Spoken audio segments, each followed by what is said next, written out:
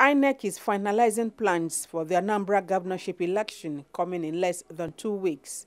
At a dialogue session with the coalition of civil society groups, INEC says it is set for a free and fair poll, but describes it as the most expensive so far. Uh, it, uh, you know, we have this operation at different levels. We have operations uh, that is being funded from Abuja, you know, the ones that we take care of from the state and, and all that. But I, I, I think it's getting to up to a billion to do another election. The Nigeria police, working with INEC, has identified IPOB as a major security threat, but assures residents of its determination to guarantee safety of lives and properties. We impounded through intelligence we impounded large quantities of leaflets because they have decided to go underground.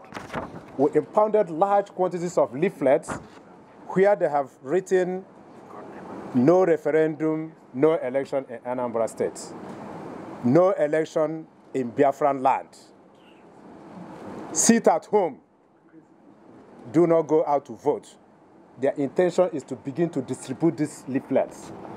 But through our intelligence, through intelligence, we were able to impound cartons of these leaflets, and uh, three people were arrested, and they should appear in court.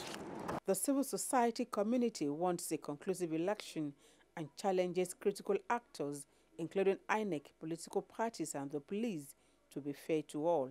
Our own intervention should also lead to the conduct of free, fair, and transparent elections that every Nigerian will be proud of who will be following up on uh, the elections itself, the actual voting, but also preparations leading up to the elections. And our hope is that um, all of the stakeholders are willing, uh, able, and ready to deliver on the promises that they have been making uh, in the last uh, couple of months about uh, delivering credible elections for Anambra State. The Anambra election and the subsequent Osun and polls have been seen as a litmus test to the 2019 general election.